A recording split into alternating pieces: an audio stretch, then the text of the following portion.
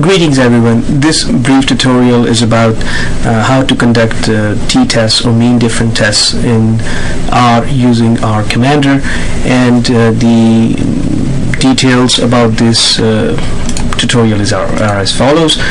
Basically, we will be using R Commander, which is an extension to R, and uh, we would test some hypotheses about uh, um, a data that we have uh, obtained from Hamermesh and uh, Parker. Uh, they did a study of teaching evaluations by students, and they were interested in knowing if uh, teaching evaluations are influenced by students' perception, perceptions of how good um, an instructor looks. And um, the data set is called teaching ratings.rda. Notice that this RDA is in fact the extension um, uh, that R uses to, so all the R data files have the extension of RDA. The data are available at this URL, which we, I will not state because it's a very long URL, but if you were to follow this URL, you will be able to uh, get to a web page where this data set are, is listed and you can download it.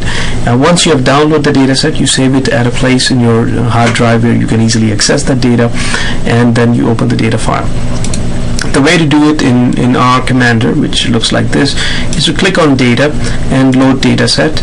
And uh, when you click on load dataset, you can highlight the dataset and open it. And here I've already opened it, so I'll just simply click cancel and uh, go to the dataset. Now I'm interested in uh, testing a hypothesis, and the hypothesis that I am interested in testing is as follows.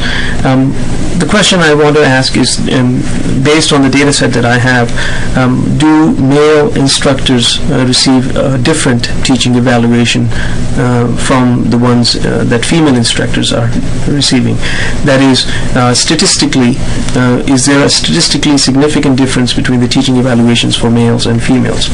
The way to go about it is as follows we first determine the um, average values for two groups. What is the average teaching evaluation for males and the ones for females? Once we have determined the average values, we would know which one is higher um, or lower um, and are they very different um, or are they almost similar. Uh, then we will construct the null and alternative hypothesis and once we have constructed the null and alternative hypothesis, we conduct the t-test and based on the p-value that is generated by the test, we either reject or or fail to reject the null hypothesis.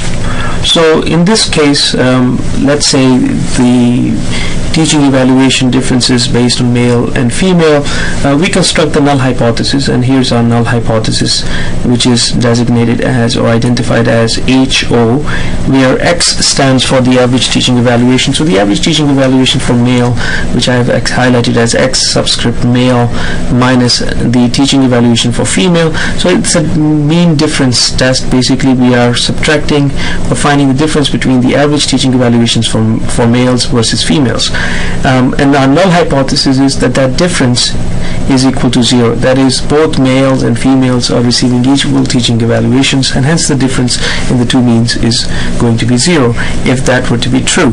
In that particular case, um, the null hypothesis says that there is no difference, and then the alternative hypothesis, which is written as HA, um, states that the both male and female teaching evaluations are in fact not equal to zero, and that becomes our um, uh, alternative hypothesis.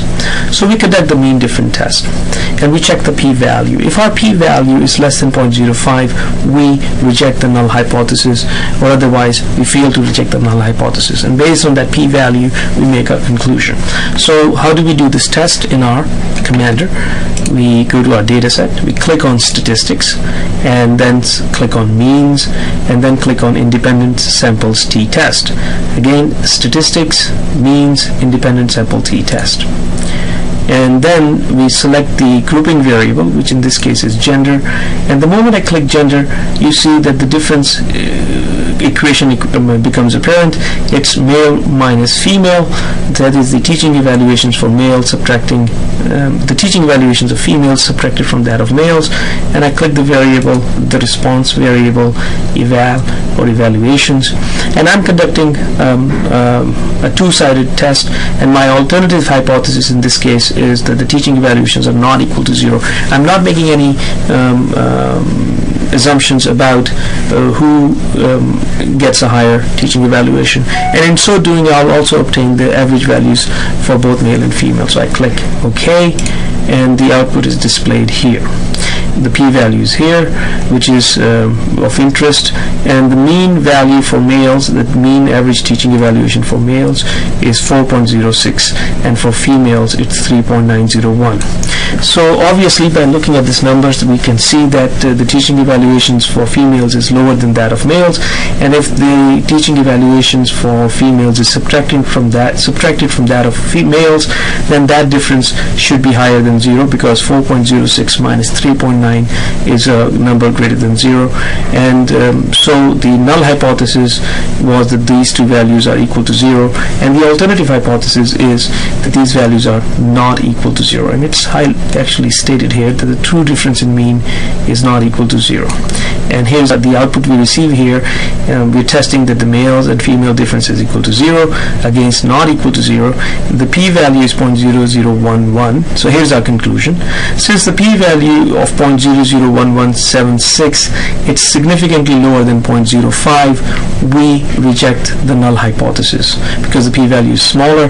We reject the null hypothesis and then when you reject the null hypothesis then this becomes our working hypothesis and conclude that in fact that the average evaluations of male and female instructors is statistically different different because the difference in means is not equal to zero. It's statistically different from zero and hence male and female instructors do not receive the same teaching evaluation. Now, in the previous test, we still don't know if uh, males are statistically receiving higher teaching evaluations than female. Because we only tested the hypothesis that the average evaluations for male and female is different we haven't tested if male's teaching evaluation is higher than that of female. So the steps we'll take is the same except our null and alternative hypotheses would be different. And in this case we, we already know that the male's teaching evaluation was higher than that of females. Actually you saw it in the two, uh, two slides prior 4.06 for males 3.9 for females. So that helps us construct the hypothesis. Our null hypothesis in this case we construct we say that we already know that the average teaching evaluations for male is higher than that of females.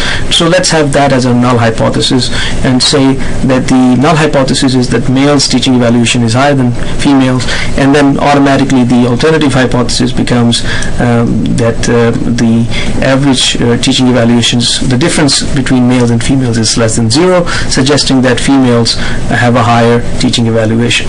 We conduct the, the, the t-test and check the p-value, and if the p-value is less than 0.05, we reject the null hypothesis, or otherwise we fail to reject the null hypothesis. So let's do this test again, and we move to R Commander, and uh, statistics means independent sample t-test the grouping variable is gender and the response variable is evaluation.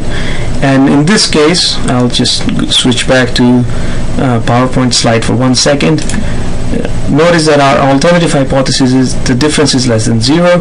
So we use that the difference is less than zero as our alternative hypothesis which is stated here.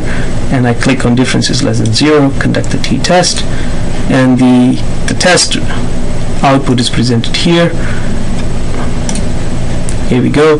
And if you look at the test type uh, output you would see uh, that the same average values for male and female are reported. The only difference is the p-value which is 0.9994 so let's go back to to um, the PowerPoint uh, slides and you will see here now the the p-value is 0.994 right?